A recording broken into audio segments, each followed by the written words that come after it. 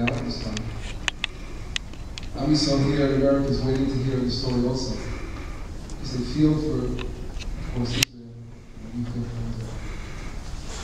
So the last thing we decided to come very quickly, a few days, but I end up in a week. Because we're absolutely amazed at the, the soul, the will for us, and people to hear the story on there to. I'll start by mentioning a little about that terrible evening. It was a beautiful Shabbat. It began as a beautiful Shabbat. We had a beautiful Sudat Shabbat. Zemirot, beautiful meal. Then I went to sleep. And five to one in the morning, I received an emergency call. My wife wakes me up. I was in deep Shabbos sleep. I hear immediately the response team to report to a certain area not too far. My house is only about four minutes away, five minutes away from the phone house. And I quickly took my rifle and my vest and started running. I said, they lock the door, door with the children up in the house, and they run out the door. I make my way to a nearby, nearby home. Immediately I'm hearing as I'm running more details about what's going on. Hearing that are people already murdered.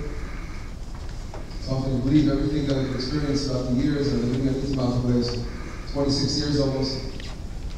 Came back, the last 10 years lost 22 people were murdered our community. And we spoke back to Shalom massacre, the last one should see. Of course, you have to keep your cool, continue walking and running towards the house. I reach the Fogel house. At that moment, I meet my friend who comes out and begins to tell me what's going on inside. I walk in, I begin to enter the house, and I close my eyes. I don't want to look at children slaughtered, beautiful family destroyed on Shabbat. At that moment, was it over? We had to keep running from house to house to make sure that everyone was okay. We didn't know if would continue this terrible massacre of other homes. It took us a few hours to finally called every home, made a list of everyone who wasn't there, who wasn't accounted for, and tried to make, make sure everyone 100% was okay. This began to tell them. What happened was at 9.05 in oh the evening, on Shabbat, we were eating on Sudat uh, Shabbat, the terrorists crossed over the fence.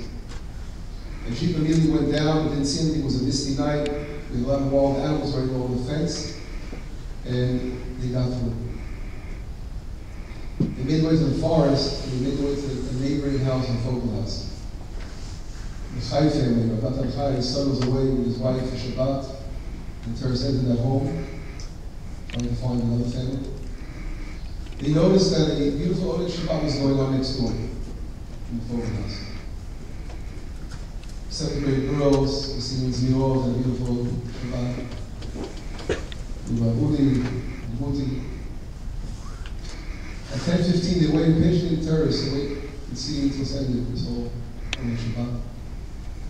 And Tamar, beautiful daughter, mother of Israel, who heard about her. She leaves to support of friends, she goes to a neighboring house, she's delayed there. In the meantime, the terrorists enter the home, they lock the door from the inside and begin to murder and slaughter children in Hadas. A nightmare. They run through the window, the back window, escape through the forest and leave the community. This is 11.05, we receive another warning.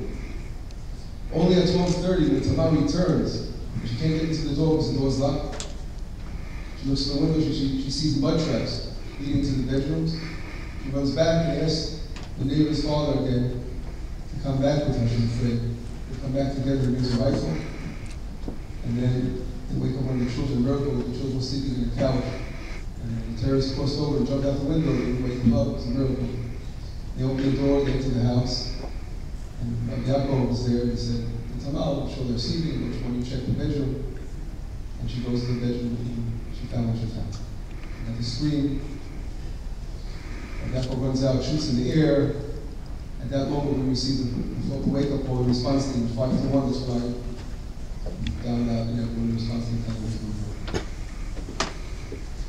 This nightmare Itamar is part of a 10 years of suffering, many people murdered, to realize not a personal story of. The Fogel family are angels, amazing people, There's no words to describe the greatness of his name. And the fact that all of Am Yisrael today is crying, is broken, wants to, wants to act, wants to do something, it shows right now that these souls up in heaven right now, when the Kisei HaKavod is calling out to us, Am Yisrael titorer, wake up. We cannot let Jewish blood spill for nothing. The next day, when I finally had maybe five minutes in my house to daven, because I didn't daven shul all week, I couldn't get to a meeting. I found a little quiet corner of my house and began to cry and say, Hashem, I need an answer. I can't explain to my children, I can't explain to my community what is happening in 22 Nishamot, Kidosho, 22 holy souls of fell on Itamar in the last decade. For a small little town of Itamar, 28 orphans running around Itamar. What is happening? I. I can't, I can't understand this. At that moment, I had a pasuk come to mind, Lo yirani adam b'chai. And I got the explanation of the pasuk. Hashem was telling us, Lo yirani adam. As long as you're living, you cannot see. You lack the vision to understand my ways. But Moshe Chai, you have to continue. Because again, we're here in this world, Eslim Bezat Hashem.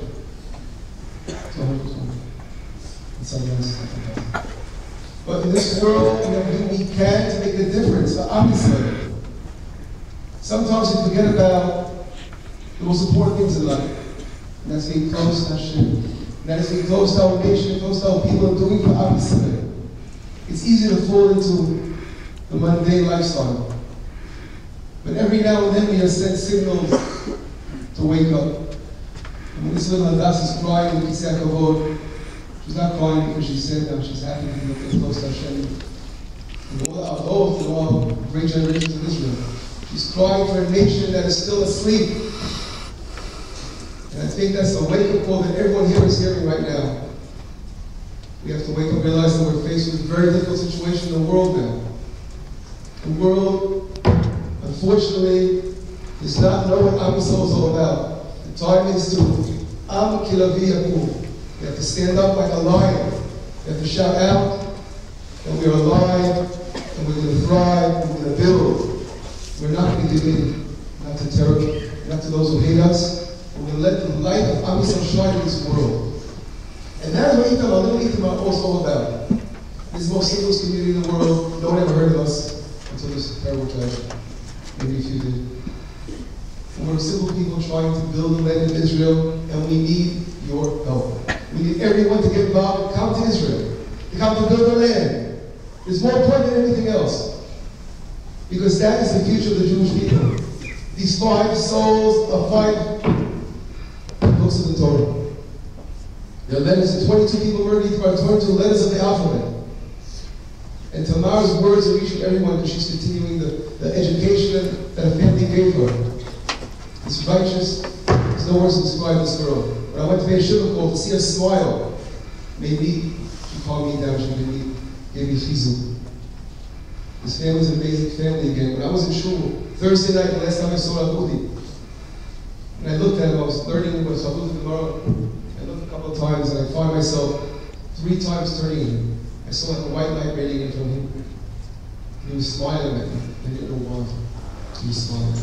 And now I know so clearly why he was smiling at me. Because he didn't say anything, but his, his soul spoke to me. And he told me that, right now I know why. He's saying, motion right now, right now you're here in America. He told to a lot of people in the world, let my soul talk to Am Yisrael. Wake up! I do I want to know right now, saying, God forgive you, listen to anyone. I want you to know that you are powerful, Am Yisrael, you have tremendous, tremendous souls, we can make a big difference in the world. Laila Tov, come to. Shalom.